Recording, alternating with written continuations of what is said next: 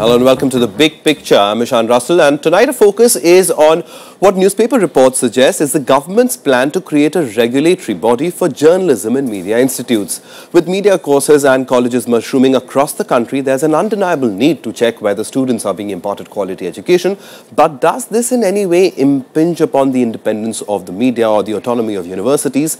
Those are the questions that we'll be exploring with eminent journalist and senior fellow at Shiv Nadar University, Siddharth Varadarajan and also veteran journalist and political editor at the Hindustan Times, uh, Vinod Sharma joins us. And to help us understand what the government is really thinking, we are joined by Nalin Kohli, national spokesperson of the BJP. And Nalin is, of course, somebody who's also spent a lot of time in the media. So, Nalin, I'll start with you. I mean, just for uh, the help of our viewers, what is the government thinking on this uh, domain? I think it's for the government to finally announce the details. Hmm. in within the government and any government, the government of the day, will certainly look at various things. They may be discussed, necessarily they may not even become decisions or policies. Mm. But the, in continuation, this has been this has come up in the past too. In the last year or two, I've seen it in the media. Let's look at it beyond a political situation. Any kind of educational institution must do justice to whatever education they are imparting. Right. And there are various regulatory mechanisms to try to put in basic minimum standards. Going beyond the standards is what they would do on their own, but the government could step in only with basics. Now, in journalism particularly, we've had a history of mass communication more than journalism teaching, which goes to this 1967 after the Ford Foundation stepped in, etc.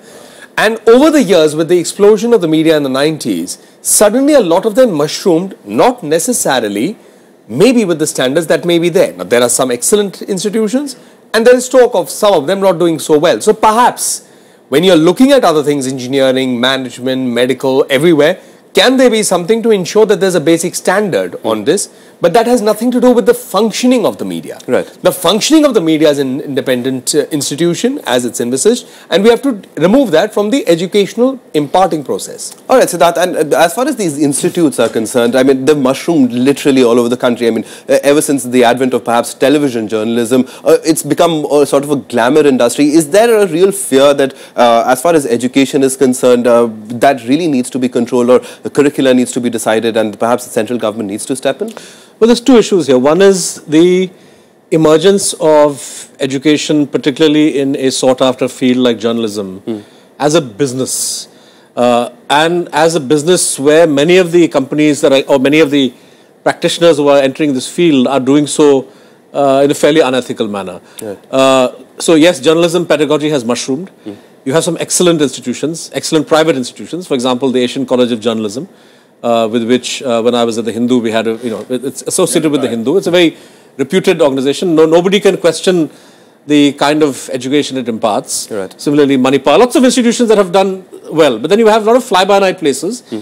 And I know because you know one would receive applications as an editor of one of these papers, you would get applications from students here and there, hoping to intern, hoping to uh, to get a job. And when occasionally one, one would meet some of these uh, individuals and you got a sense of what they were being taught, obviously uh, it wasn't really up to the mark. So there is a problem with journalism education, just as I believe there is a problem with the mushrooming of engineering institutes, medical institutions, right. uh, law colleges. Hmm. I would say why, why focus only on higher education? Hmm. Uh, the kind of private schools that offer so-called English medium education right. in small towns and kasbas of India, hmm. the kind of education that happens. So there is a problem when education becomes a business. Right. Having said that, the, the, danger is in associating many of the ills or problems of journalism today that we mm. see. And mm. anybody in Rajya Sabha TV who saw the discussion that Girish yes. uh, Nigam conducted with Rajdeep Sabha uh, uh, uh, myself and um, I think it was uh, Nihal Singh sir, yeah. Uh, would have you know understood the kind of problems that the industry faces. Mm. Lack of education or lack of qualifications of journalists is the least of the problems. Right. Uh, because a lot of the, you know, any, any good institution will train its journalists on the job. It sets, uh, you know, the, the editorial direction or the, you know, the overall culture of an organization sets the tone and tenor of the kind of journalism it practices. Right.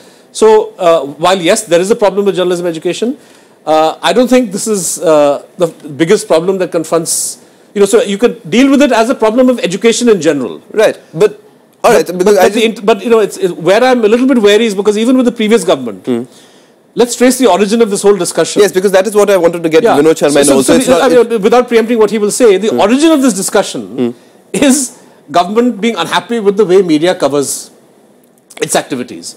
So the, the, the feeling is that you know you guys are doing a bad job. Why are you doing a bad job? Well, you're doing a bad job because your journalists are biased against us. Hmm. So how do we teach them to be balanced? You give them better journalism education, have, make them do exams.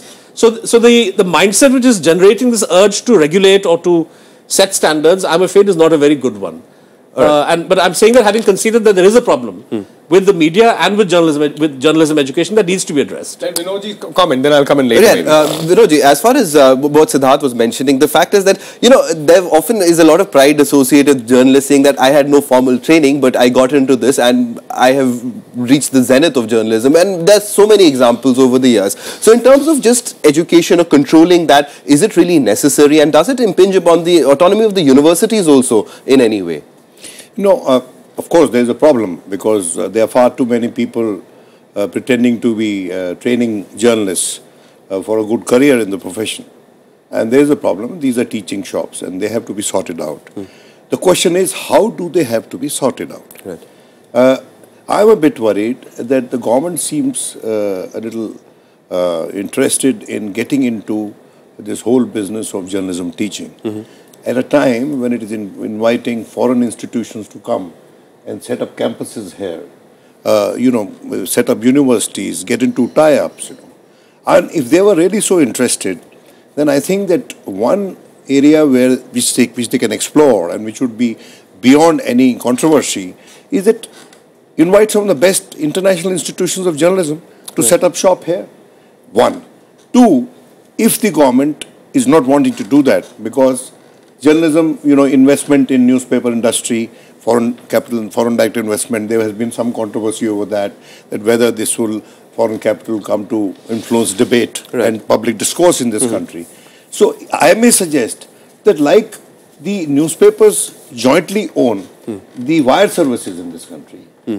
why can't they come together, the newspapers themselves, to set up institutions? For instance, Times of India has a very But almost well- every media house now has no, they have they have their own training programs. Hmm. And thirdly, I would like to say, while you can teach the technical aspect of journalism, you cannot teach writing. Yes. And the best journalists who have made a mark have no hold no degree in journalism. I mean, until now I know many. I don't think Siddharth holds a degree in journalism, and they have come from the field of humanities. So my bigger worry is that when these, uh, you know, there's a university, tele, you know, there's a telecommunication, a te- communication university they are Yeah. thinking of. Now, is this communication university going to be some kind of a medical council of India, as has been reported? And we know what's the track record of medical council, council of India, that how they have been permitting, uh, you know, the, the medical uh, colleges to uh, increase the number of seats without due diligence insofar as their infrastructure was concerned, the teaching faculty was concerned. So it's an area which the government should desist entering and should allow the industry itself, the journalists themselves, to look for avenues to for better training of future journalists in this country. All right, but that, that brings us back to the question of how do you weed out the good from the bad, and that is where perhaps intervention is required. Nalin, you wanted to come and I'll See, I come have back. three, you four that, points to add because there are substantive points coming up in this discussion. Let's go one by one. One of the global challenges is that communication, journalism, or uh, is becoming almost a subset of the larger communication. A lot of media houses, pure journal, uh, magazines, newspapers are being owned by larger communication companies because there's also the pressure of revenue. And after Right. all, uh, not uh, news cannot always be, if I may use it bluntly, a profitable thing because there's a social service, a public good involved. The second part to it is, um, yes, I think Vinodji has made an important point. The liberal arts whole program, which is so critical to a wider way of approaching the subject of journalism and the mission of journalism more than the subject, that itself is also being challenged and it's becoming very, very narrow. The third is, it's a fact, some of the finest examples you have in journalists through the pre-independence era or even here, India or abroad, have not been people trained anywhere. It was also with a missionary zeal. On the other hand, as he used the word teaching shops, you have that risk where people go through a program which may not be necessarily good, and then they come out claiming to be holding something that they probably don't have, they're not adding value to the profession. The last point which he says, I don't think anything will stop the media houses from coming together and possibly doing something like this, it'll be to the interest of journalism. Mm. I don't think that's anything, and it's a good suggestion. Why not? The media houses may work on it. For the government, there are two issues that we have to be clear about. Right. A, is it to set in the minimum standards? Because mm. there are communication courses that run through universities as also outside the university framework. And two, the, the government may decide that it may want to set up an institute, like you have an Indian Institute of Mass Communication across the country. You may have a school like this, but whether that would be able to, in a sense, as Siddharth was having a concern, change, change the mindsets of journalism, not be adversarial. I think the four states of uh, the pillars of democracy are designed in that way. After all, journalism or media will look at it with an adversarial way to try to keep a check on it. And whether it can influence, I don't think so. I think that would be too wide. I don't think any government can achieve that through a training program. All right, but uh, if I would just, you see, the reason I I am a little bit suspicious of the motives of politicians. Hmm when they talk about the need to standardize journalism education. And this is from the no, UPA no, regime I'm not saying this is to do with not BJP or anything. This goes back to the Congress and the UPA. He's talking right? generally. I, I mean, uh, Manish Tewari, Kapil Sibal, all of these uh, gentlemen floated the idea of, of uh, you know, inadequacy of journalism courses and need mm. to have exams and regulations. The reason I'm suspicious of the motivation is that it's not as if it's coming out of a concern for teaching shops. After mm. all, in India, you have you know fly-by-night institutes that have sprung up, promising young boys and girls that we'll teach you how to be air hostesses. Hmm. Right? You have uh, you have uh, fashion institutes that have come up. Any number of unregulated. So fact is that if you're not offering a degree, hmm. but only offering some kind of a diploma, which is which, which may or may not be recognized by industry, hmm. so there is no regulation that you have to go through. Hmm. So if it was concerned only about young boys and girls getting hoodwinked by professional sounding courses in a variety of fields, I could understand, right? right. So then I would expect uh, the I&B ministry or the education ministry to say, well, no, not I&B in fact, I would expect HRD to get into the act and yeah. say, whether it's media or fashion or, or, catering or hotel management, there should be uh, some kind of regulation. But that's not what's happening, right? Mm. What's happening is there's a focusing on media. And I would connect this, you know, for example, the Prime Minister made his, when he spoke at this uh, function, uh, I think Pudhari newspaper yes. in Maharashtra, right? so, uh, so, he, so he said uh, there should be samvad, Hmm. But there should not be alochana. Hmm. So, uh, the, I, mean, I mean, there should not be allegations. He yeah. said that we need dialogue and not allegations. Not Even criticism. He also yeah, said he said there should be criticism, but not allegations. Yeah, not oh. leveling allegations. Now, the, the point, is how, yeah, the point is how can you have samvad, hmm. which means dialogue, hmm. when the Prime Minister doesn't take questions? Right? So I'm saying that when you have a culture which is in a way inimical to journalism, journalists doing their job, and when journalists are going to write articles critical of the government, mm. to label that as an allegation, because Mr. Modi said so far I've been in power for seven months, we've not heard any uh, criticism, all we've heard is allegations, right? right? So in a way you're saying that everything that the Indian media has done for the past seven months is not journalism, right? So this is the political context in which this, de this debate leaves me a little bit worried. All right. I mean, just as a quick comment, just a single sentence, that um, certainly from the media's expectation, it would be that you would have an open government to the extent that if it could be conducted in television studios, why not?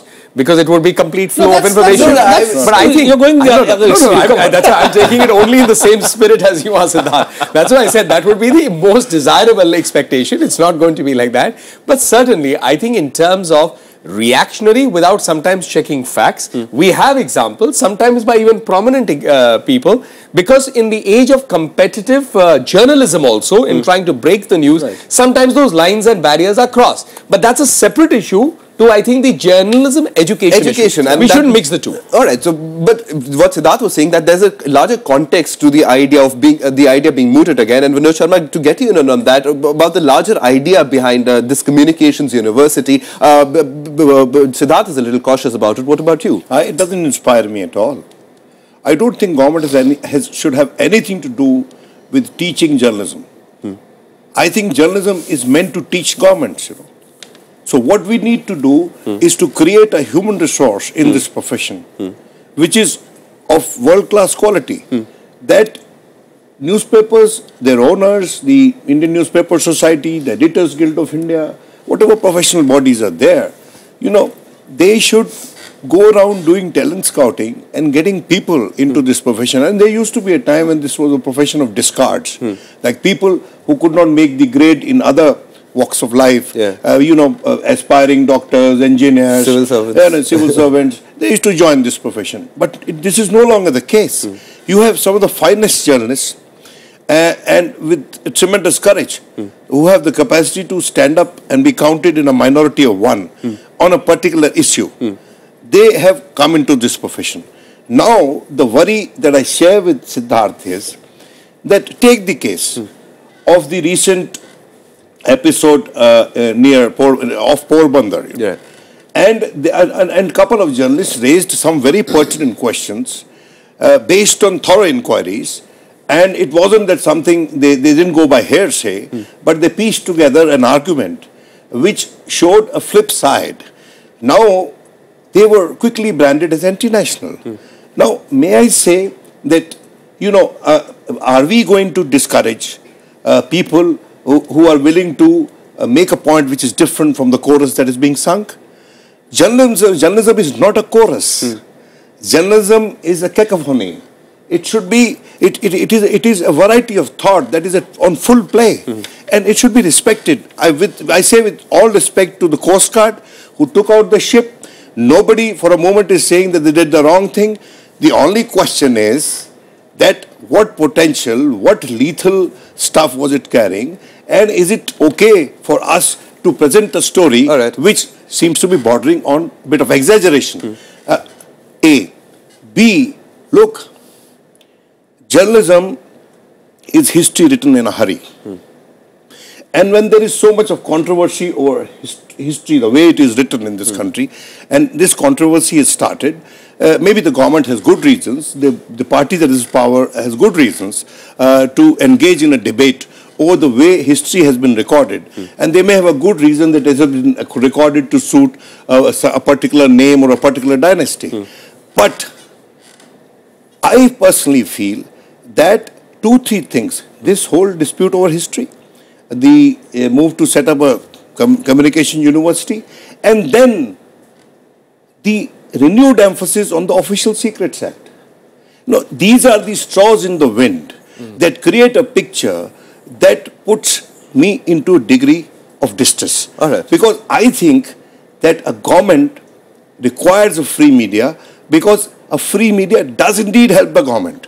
And government should not, though we have to be adversarial towards the government, the government should not be adversarial towards us. In fact, in fact, I remember at the height of 2002, the, I, I interviewed the Prime Minister of the day, and he gave me an interview, and he said, Vinod ji, I have given you an interview इस बावजूद इसके कि मैं जानता हूँ कि आप मेरी पार्टी की विचारधारा के खिलाफ हैं तो आई सेड नरेंद्र भाई आप ये स्नेह बनाए रखें लोकतंत्र इसी का नाम है तो मैं ये समझता हूँ कि you know, we have to, that we must encourage free and fearless journalism, but at the same time, informed and well-researched journalism. It should not be an assembly of quasi-literates, right. uh, which will encourage people like Markandey Katju to set a basic qualification for becoming a journalist. And there can't be, I think, factory production also. I mean, Siddharth, uh, coming to you, as far as uh, uh, with various uh, organizations go, the Press Council of India, in association with Makhanlal University, I mean, they sat and they debated this topic for some time. And amongst the, the research that they came out with was that abroad, I mean, this is a trend. In the UK, you have the National Council for the Training of Journalists. There's a similar council in the US. So, I mean, uh,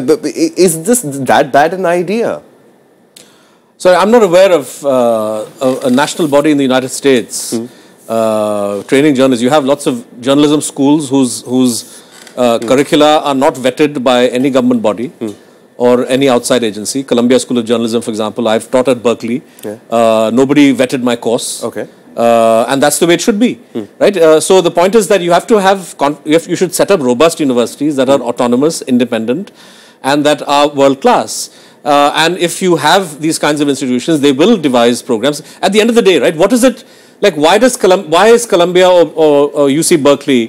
Why are they such storied names in journalism? The reason they are is because their products, the people who graduate from them, uh, are very well qualified people. In India, why is it that the ACJ batch is snapped up by uh, by news? I mean, of course, the Hindu has uh, cherry picks, uh, but everybody grabs these guys, Yeah. right? It's because the, the it's not because of any regulate you know regulatory intervention or government involvement, but because uh, in a mark in the marketplace they've come up with the best sort of curriculum, and uh, their products are genuinely talented and good, and they get good training, right? So I think that uh, we uh, seem to be you know confusing. You see, journalism it is a profession.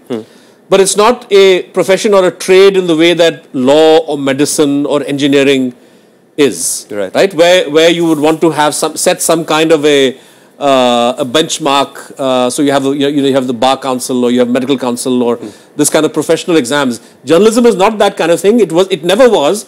I would say, especially now when you have social media, where everybody, anybody with a computer and a, and a, and a brain and an internet connection can set himself or herself up as a journalist. Right? So, so the very idea of uh, uh, pushing regulation or pushing some kind of official standard of pedagogy, when this is the terrain that you're dealing with, uh, really doesn't make any sense. All right, and Nalin, I'll give you the final word because, uh, I mean, you've heard both the points of view as far as the concerns are over there about such a move. So if you would See, like to I've actually been exposed to all the three sides. Even while, like, just as uh, Siddharth has had an ex- experience with the United States, even I've had it with the Missouri School of Journalism, which is the oldest journalism school in the world. And, you know, these are debates that are not, I think, unique to India. These debates are globally there too. Questions like in an age where the mobile phone and you see what's called a citizen journalist, you actually can become, contribute not only through the social media and frontline media also with just a single shot and something which may not be written in as you would traditionally see it written in terms of journalism. So that's part of the evolution. The second part is in terms of verification of facts. There was something that at a time was almost certain. I probably, Vinod Bhai and Siddharth may have a view on it, that you wouldn't do a story without a pre-publication verification. And that's increasingly becoming rare. There's no kind of verification. And in that haste, so even newspapers sometimes, although the uh, newspapers are far more conservative given the nature of the media. And uh, there is perhaps a renewed interest in newspapers by, by even readers. Yeah. because you know they feel that yes now a more measured response is coming because it's not instant like television. So there are various aspects. The third is about asking questions. Of course i like to how uh, vinod bhai put it a cacophony not a chorus. I think that also puts it out very well in terms of the nature of journalism. But yes i mean eh, asking questions that would happen. Sometimes those questions themselves may be incredulous to those who may be answering questions. Like just to pick up the poor Porbandar thing, I'll give a counter. If someone blows themselves up, you can't really be saying that, you know, what was exactly the motive of the blow up because it took place. So this reverse cacophony also would take place. That's the nature of engagement. It's not an engagement that is about an embrace. It's an engagement of actually the class. And finally, who decides? It's only finally the viewer or the reader who will decide. That is where the strength comes. It's all for the public good in the public domain. So I would say we should be open-minded. Let's see what comes. If industry is able to set those standards, that's the ideal situation and that's how it should be.